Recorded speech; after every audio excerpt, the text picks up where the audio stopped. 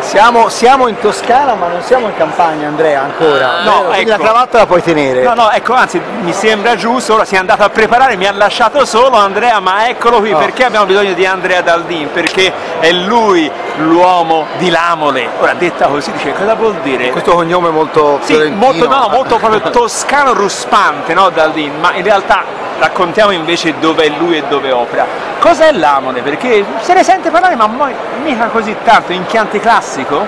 Sì, siamo eh, nel cuore del Chianti classico tra le province di Siena e di Firenze, nel comune di Greve in Chianti.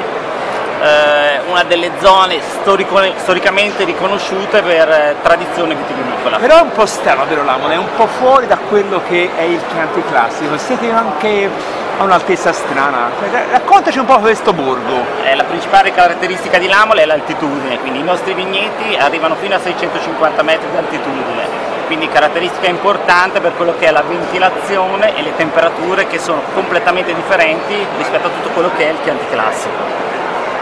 Altra caratteristica principale di Lamole è l'illuminazione, l'illuminazione fondamentale per la fotosintesi, senza la luce la fotosintesi non va avanti e quindi non c'è lo sviluppo e la maturità delle nostre uve. E quindi tu dovessi descrivere i vini che produci là, che vini sono? Siete- quanti ettari avete? Ma più che altro, ecco, alla fine cosa si deve aspettare uno che li va a assaggiare?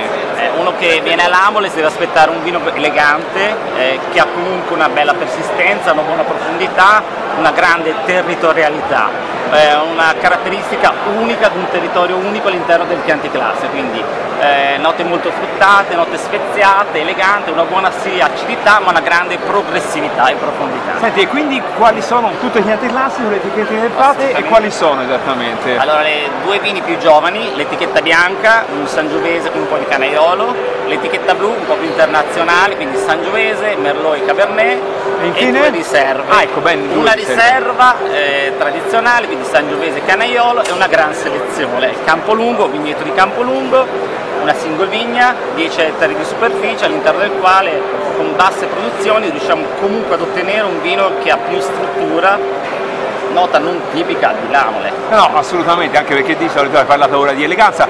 Quindi, beh, secondo me lui ha veramente dato l'idea e la voglia di andarli a trovare. Te, Andrea, Vabbè, io la Molese Doc, io, io l'Amole ci devo andare per forza in pellegrinaggio, ma anche tu sei la Molese. Ah, certo. Quindi dobbiamo andarci per forza, altrimenti ci levano questo. Ah no, continuiamo a Quindi insomma. ti veniamo a trovare di sicuro Andrea, grazie. Sempre volentieri, grazie a voi.